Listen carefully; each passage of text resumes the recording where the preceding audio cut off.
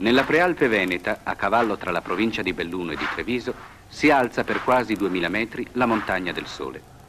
È un ironico soprannome popolare, amaro, poiché all'incrocio delle correnti d'aria della Valla Pisina la montagna è costantemente incappucciata di nuvole, sepolta nelle nebbie, fredda e corrucciata anche nella stagione estiva. Per questo il lavoro dei pascoli e della fienagione diventano qui più duri ed aspri di altrove, spesso drammatici. Dove le bestie non possono giungere a pascolare, ci si china a strappare l'erba palmo per palmo, per tutta l'interminabile distesa dei prati. La nebbia perenne penetra nei polmoni, l'altitudine appesantisce il respiro, ma è il bisogno della sopravvivenza che spinge i montanari a cercare il nutrimento per le proprie magre bestie, unica fonte del loro reddito insufficiente, sempre più in alto e più lontano. È la sfida a una natura implacabile, avara, un costo altissimo che si paga con l'intera esistenza legata ad una fatica che ha il peso dei secoli e dei millenni. Più erba cade sotto la lama e maggiore sarà il fieno col quale il bestiame potrà superare il lunghissimo inverno. Per questo la fienagione ha il duplice aspetto di un lavoro accanito, spietato, per raccogliere quanto è possibile e di una corsa contro il tempo. Sulla montagna del sole, infatti, può nevicare d'improvviso, anche in piena estate.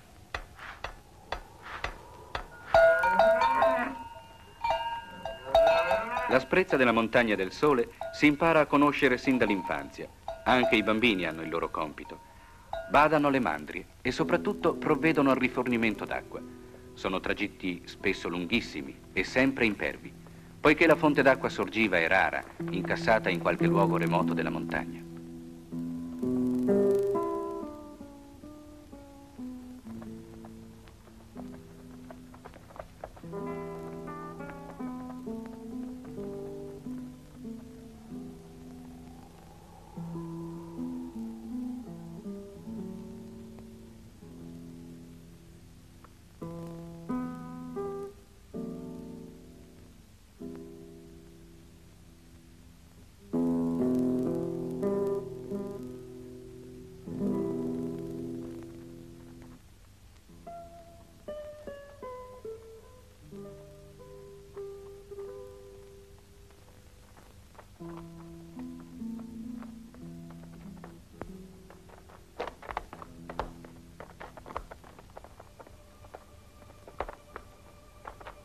Le falde d'acqua potabile da cui i montanari prendono le loro provviste sono una ricchezza che va custodita gelosamente. Per questo vengono strenuamente difese da tutto ciò che può inquinarle. Serpi, animali, insetti e ranocchi sono i nemici naturali. Soprattutto per i ranocchi sorpresi a guazzare nell'acqua non c'è pietà. Sono considerati la piaga peggiore e bisogna distruggerli. È una cruda, legittima difesa imposta da una secolare necessità.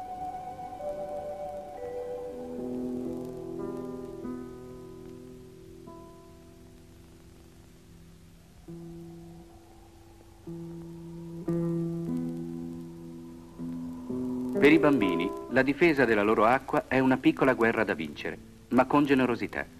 Ai nemici vinti spetta l'onore delle armi e una degna sepoltura con margherite, stelle alpine, non ti scordar di me. È un modo semplice ed ingenuo di ripagare col sentimento una crudeltà imposta da una ferma necessità.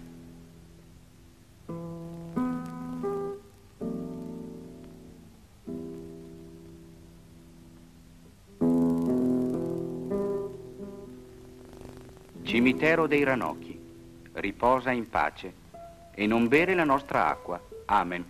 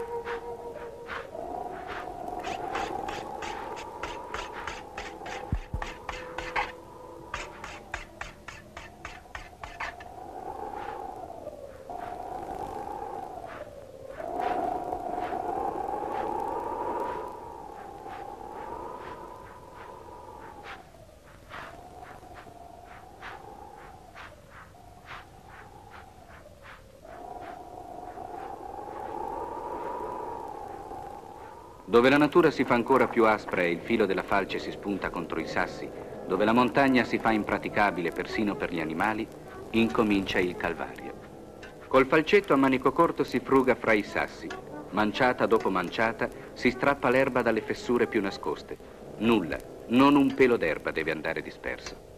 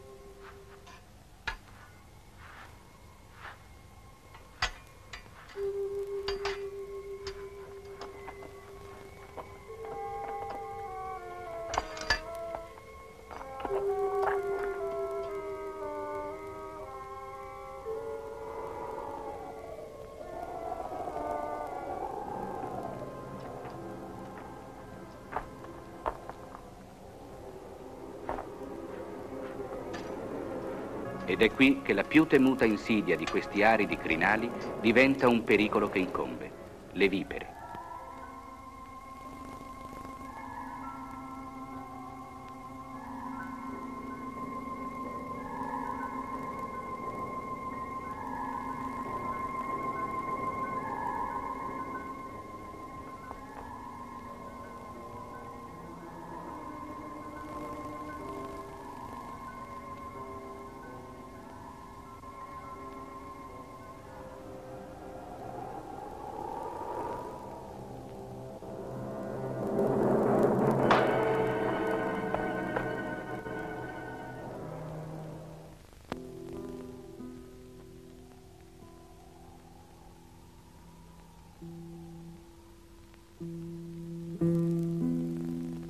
I giochi dei bambini, il loro consueto divertimento, non è mai disgiunto dall'utilità, dalla praticità.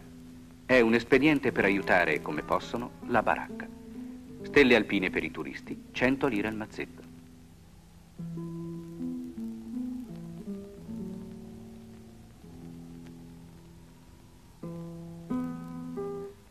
Poi le grolle, corvi delle altitudini alpine. Si vendono ai cacciatori per richiamo, 500 lire l'uno cifra inebriante come una ricchezza. La scaltrezza di questi uccelli è proverbiale, ma è infallibilmente vinta dall'innato senso della caccia dei piccoli montanari che imparano fin dalla nascita ad usare il vischio come un'arma indolore e sicura.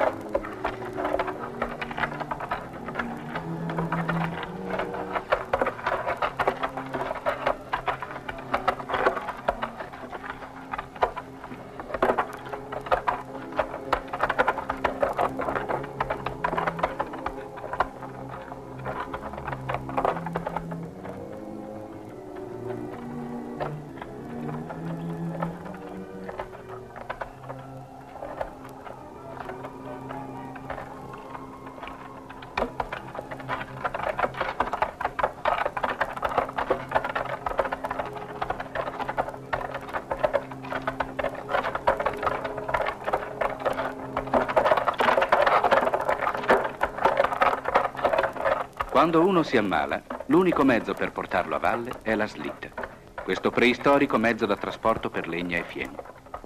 Legato per non essere sbalzato a terra, il malato deve affrontare un viaggio forse più penoso e drammatico della stessa malattia.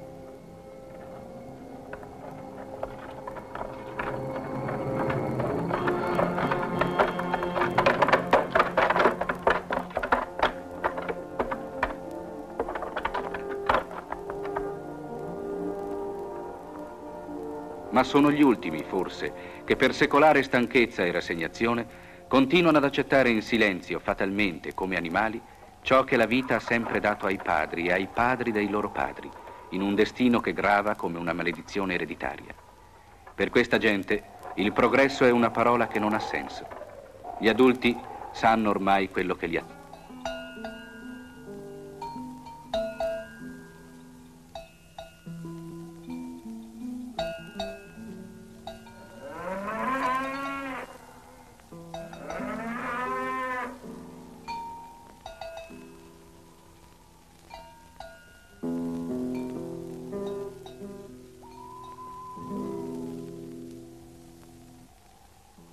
Solo ai bambini è dato sognare e sperare.